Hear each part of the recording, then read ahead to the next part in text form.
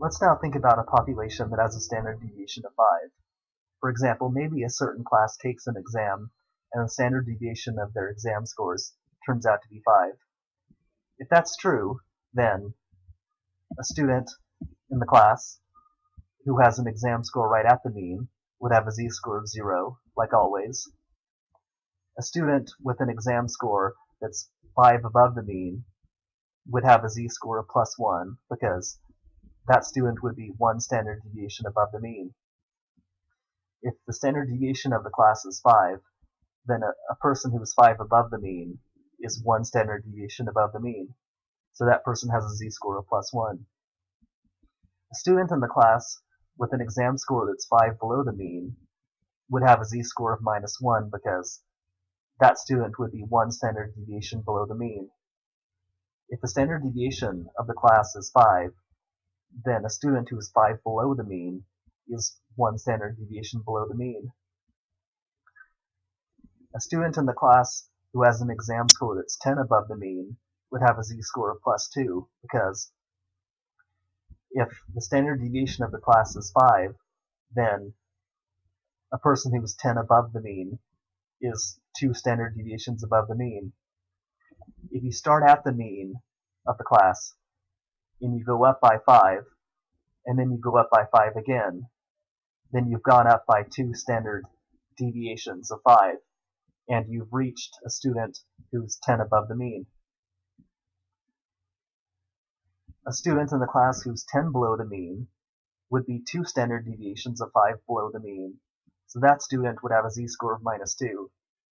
If you start at the mean of the class, and you go down by 5, and you go down by 5 again, you've gone two standard deviations below the mean, and you've reached a student who's 10 below the mean. And that student has a z-score of minus 2. That student has a z-score of minus 2 because that student is two standard deviations below the mean. A student who's 15 above the mean would have a z-score of plus 3 because that student would be three standard deviations above the mean. You start at the mean of the class and you go up by 5, you go up by 5, and you go up by 5 again, then you've reached this student right here, who's three standard deviations above the mean. A student in the class who has an exam score that's 15 below the mean would have a z-score of minus 3 because this student is three standard deviations below the mean.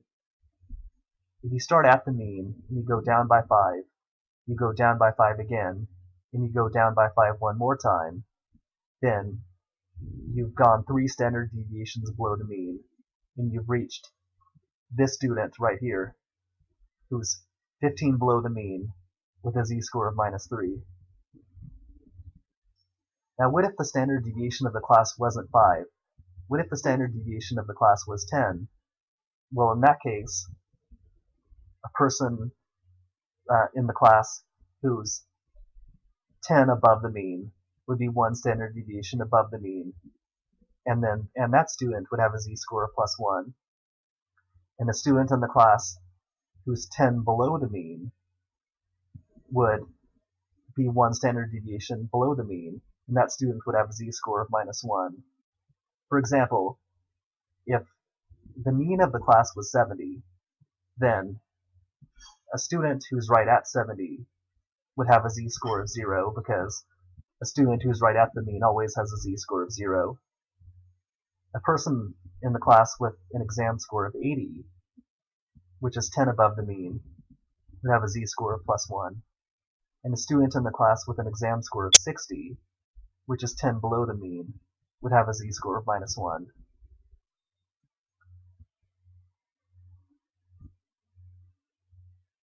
Now, if the, if the, if the class has a standard deviation of 10, then a student who is 20 above the mean would be two standard deviations above the mean, and that student would have a z-score of plus 2. Because if you start at the mean and you go up by 10, and you go up by 10 again, you've gone up by 20. Also, a student in the class with an exam score 20 below the mean would have a z-score of minus 2 because if you start at the mean and go down by 10 and go by go down by 10 again, you've gone 20 below the mean. Also, a person who's 30 above the mean would be three standard deviations above the mean, and, they, and this student would have a z-score of plus 3, and a student who's 30 below the mean would be three standard deviations below the mean, so they would have a z-score of minus 3. So basically, the, the z-score is just um, a multiple of the standard deviation. In other words, um, if you go up by one standard deviation above the mean, you reach a person with a z-score of plus 1. If you go up by one more standard deviation, you reach a person with a z-score of plus 2.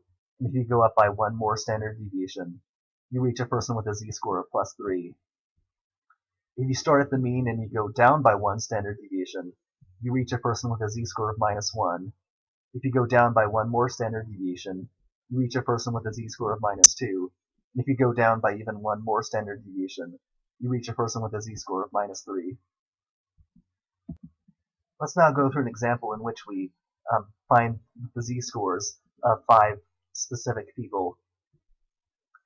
We're now imagining that a certain population of people has a mean height of 60 and a standard deviation of 5. So if you if you took all of the heights of everyone in the population and, and calculated the mean and standard deviation of, of those heights, you would get 60 and 5. Now we're, we're also imagining that we've taken a sample of this population